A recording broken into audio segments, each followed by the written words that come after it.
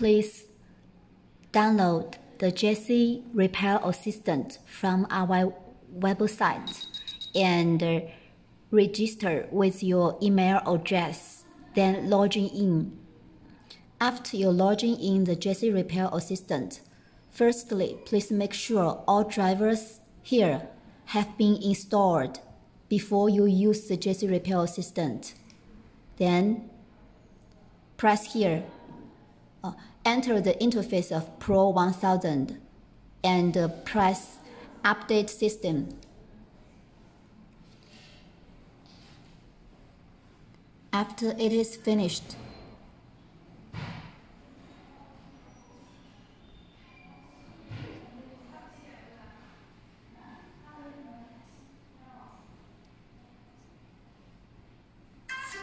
it will notify to Connect the Pro 1000 with the PC.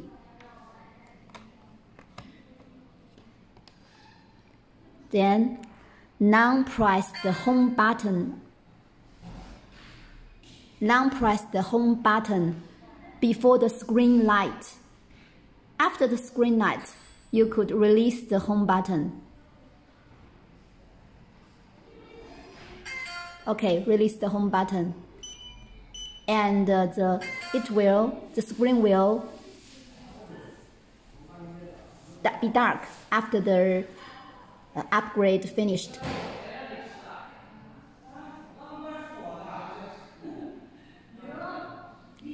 Now it is finished.